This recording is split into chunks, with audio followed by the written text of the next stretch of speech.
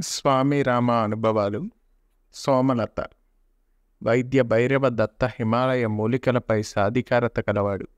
Living authority ఒకసారి స్వామి రామాతో తాను సోమలతను తెస్తానని దాని ఫలితాలు చూపిస్తానని అంటే స్వామి డబ్బు ఇచ్చి పంపాడు.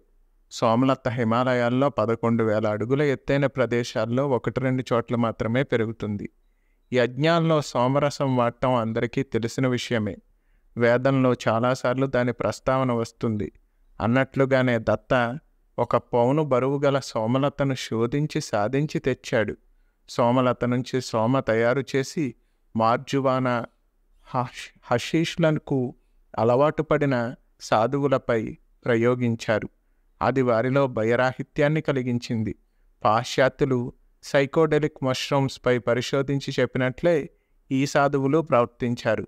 అయితే హెర్బాలజిస్ట్ దత్తా మాత్రం అనేక రకాల మష్రూమ్స్ ఉన్నాయని అవి ఇలాంటి ప్రభావాన్నే కలిగిస్తాయని సోమలత ఆ కుటుంబానికే చెందినది కాదని ఇది ప్రత్యేకమైనదని తెలియజేశాడు. సోమలత కుచించుకుపోయే స్వభావం ఉన్న జాతికి చెందింది అన్నాడు. అనేక ఆయుర్వేద గ్రంథాల్లో వివిధ పుట్టగొడుగుల విషయాలన్నీ ఉన్నాయి. వాటిని వాడిన తరువాత విచిత్రానుభవాలు కలుగుతాయి అని చెప్పబడింది. కానీ వాటిలో సోమలత పేరు లేదు. మిగతా ముడుచుకుపోయే రకాలు ఈ ప్రభావాన్ని కలిగించవు. అగారికస్ హైషిమస్ స్ట్రామోనియం అనేవి విషపూరితమైనవి కానీ కొద్ది మోతాదులో సేవిస్తే భ్రాంతి విభ్రమ కలిగిస్తాయి. సరైన మోతాదులోనే వాడాలి. లేకపోతే వీటి వలన ప్రాణహాని తప్పదు. సోమలత ఇప్పుడు మనం సోమలత అనే ఒక అమోఘ శక్తిని తనలో నిక్షిప్తం చేసుకుని సామాన్య మానవ మాత్రులకు అందని మహిమాన్వితమైన ఒక తీగజాతి మొక్క గురించి వివరిస్తున్నాను. ఈ సోమలత కణుపులకు కలిగిన ఒక ఔషధి. ఈ కణుపులను అసువులు అని అంటారు. ఈ సోమలత గూర్చిన ప్రస్తావన ఋగ్వేదంలో తొమ్మిదవ మండలం అరవై నాలుగవ సూక్తంలో విస్తారమైన ప్రస్తావన కలదు. ముందుగా ఈ సోమలత వైభవం గురించి నిజంగా చెప్పాలంటే పెద్ద యాగాలలో ఈ సోమరసం లేకుండా యాగం చేయకూడదు. ఇంకనూ అనేకమైన చమత్కారాలు ఈ సోమరసపానం వల్ల జరుగుతాయి. దేవతా సమానమైన శక్తిని మానవులమైన మనం పొందగలం. ఇంకనూ ఇక్కడ వివరించనలవి నలవిగాని అనేక విషయములు కలవు.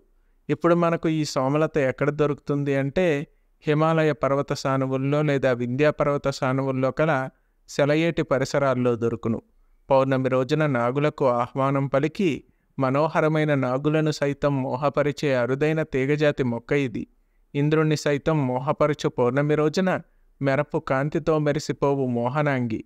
యక్ష సమూహం కౌగిలించుకునే కల్పవల్లియే ఈ సోమలత. ఈ సోమలత గురించి వేదాల్లోనే కాకుండా గ్రీకులు పురాణాల్లో చైనేయుల చరిత్రలో అనేక రకమైన నాగరిక సమాజాల్లో ఈ సోమరసం ప్రస్తావన విస్తారంగా కలదు. ఈ సోమలతను ఎవరు పడితే వారు తీసుకురావడం కుదరదు. ఈ మొక్కని ప్రసన్నం చేసుకునే విధి విధానం తెలిసిన వారు మాత్రమే ఈ సోమరసలతను తీసుకురాగలరు. దానికోసం మన పూర్వులైన ఋషులు కొన్ని మంత్ర తంత్ర విధానాలు చెప్పి ఉన్నారు. కనుక ఈ మొక్క గూర్చి అందరూ మాట్లాడేవారే కానీ ఈ సోమలతను చూసిన వాళ్ళు అతి తక్కువ మంది మాత్రమే. ఈ లత యొక్క పరిపూర్ణ విధానం తెలిసిన వారు కూడా అతి తక్కువ మాత్రమే సుమా. సోమలస సోమలత పాదరసాలను ఎలా వాడాలో అనేక రకాలుగా మన వాళ్ళు వర్ణించి వివరించారు.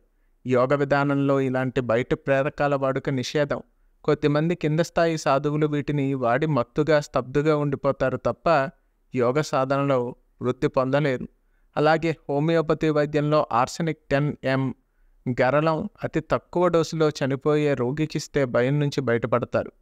గ్రీకులు ఈజిప్ట్ వారు దీన్ని రోగులపై ప్రయోగించేవారు. అలాగే సోమరసాన్ని వాడితే మనసు అంతర్ముఖం అవుతుందని హిమాలయ హెర్బాలజిస్టులు అలా తమ అనుభవాలు ఉంటారు. వారి ఉత్సవాల్లో కూడా దీన్ని పవిత్రంగా వాడినట్లు చరిత్రలో ఉంది. పతంజలి మహర్షి కూడా యోగ సూత్రంలో నాలుగవ అధ్యాయం మొదటి శ్లోకంలో ఔషధి వనమూలికల నుండి తయారు చేయబడిన మందు మానసిక అనుభవాలను ఇస్తుంది అని చెప్పాడు. అయితే ఇది తాత్కాలికమే కనుక దీనిపై ఆధారపడరాదన్నది ముఖ్య విషయం. సాధనే దారి. ప్రాచీన సాహిత్యంలో సోమరసాన్ని తెలివి తక్కువ విద్యార్థులకు అంటే కుదురుగా ఆసనబద్ధులుగా ఎక్కువసేపు కూర్చోలేని వారికి ఇస్తే అది వారి నాడీ వ్యవస్థపై ప్రభావం చూపి అనేక విధాలుగా పరిగెత్తే మానసిక ఆలోచనలు ఏకీకృతం అవుతాయని చెప్పబడి ఉంది. అప్పుడు శరీరం స్వాధీనమై చెప్పినట్లు విని బాధ లేకుండా కూర్చోవడానికి వీలవుతుంది. కనుక ఇలా నిష్టగా ఆసనబద్ధులు కాలేని వారు సాధనకు ముందే చేసే కొన్ని కొన్ని కార్యక్రమాల్లో సోమరసాన్ని తీసుకుంటారు. దీని వాడకం ఇష్టం వచ్చినట్లు చేయరాదు హెర్బాలజిస్ట్ సలహాపైనే వాడాలి. వైద్య భైరవదత్త ఇలాంటి ప్రేరకాలను మంత్రాలతో జోడించి రోగులకు వాడతారు. ఈ మంత్రాలను ఒంటరిగా ఉండే ఉపవాసంతో చదువుతాడు. దీనికి తోడు కొన్ని తంత్ర ప్రక్రియలు చేస్తాడు. కొందరు సాధువులు ఈ ప్రక్రియలో చాలా అనుభవం పొందిన వారు ఉన్నారు ఈ విధానం అంతా లేకుండా వాటిని వాడితే పరమ ప్రమాదం. నాడీ వ్యవస్థను దెబ్బతీస్తాయి. భ్రమలు పెరిగి సైకిక్ అయ్యే పరిస్థితి ఏర్పడుతుంది. కొందరికి భావాతీత అనుభవాలు కలగవచ్చు కానీ ఈ యోగికి అవి సహకరించవు. తరువాత వ్యతిరేక ప్రభావాన్ని కలిగిస్తాయి. భైరవదత్త తాను చాలాసార్లు సోమరసాన్ని నిర్భయంగా వాడానని మంచి ధనాత్మక ఫలితాలు ఇచ్చాయని ఉన్నత స్థితి కలిగిందని చెప్పాడు స్వామి రామాతో. కానీ దాన్ని పదే పదే వాడితే వ్యతిరేక ఫలితం కలగడం ఖాయమని చెప్పాడు.